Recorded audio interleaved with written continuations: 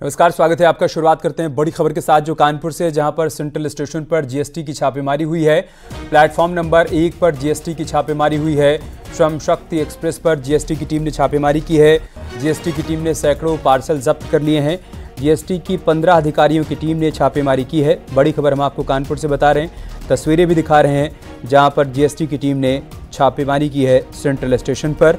कानपुर से हमारे सहयोगी अमित गंजू हमारे साथ जुड़ चुके हैं। अमित, क्या जानकारी आपके पास? देखिए अब मैं बताना चाहूँ पूरा कानपुर के का शक्ति एक्सप्रेस जो दिल्ली से कानपुर ले आती है और कानपुर में आने के बाद जैसे ही जीएसटी के अधिकारियों को ये सूचना मिली थी कि यहाँ के पार्सल वैन में कुछ आए हैं, पाँच या सात, जिनकी बिल्टी नहीं, जिन प्रकार नहीं है। इसके, मैंने तीन से चार ऑफिसर्स मिले, मगर उसको रैक को खोला गया लार को खोला गया एक नहीं, दो नहीं, पाँच, छह सौ छोटे बड़े नग मिले यानी लाखों रुपए की की बात सामने तो सामने आया और इसकी कोई बिल्टी सामने और ऐसे में कहीं ना कहीं शक की सुई रही कि कुछ कर्मचारियों पर घूम रही है।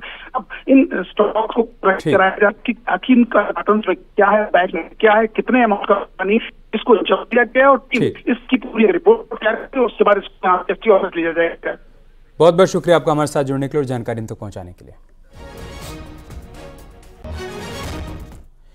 हरियाणा विधानसभा चुनाव में कांग्रेस की करारी हार के बाद पहली बार अखिलेश यादव का बयान आया।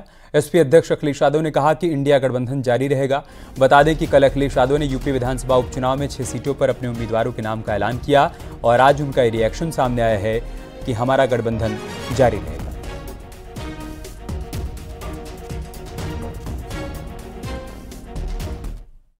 जी जिस तरह से विधानसभा उपचुनाव है दस सीटों पर समाजवादी पार्टी ने पाँच प्रत्याशी वो आज आज समय नहीं है उस पर चर्चा करने का लेकिन इंडिया गठबंधन समाजवादी पार्टी और कांग्रेस का गठबंधन रहेगा। रहेगा।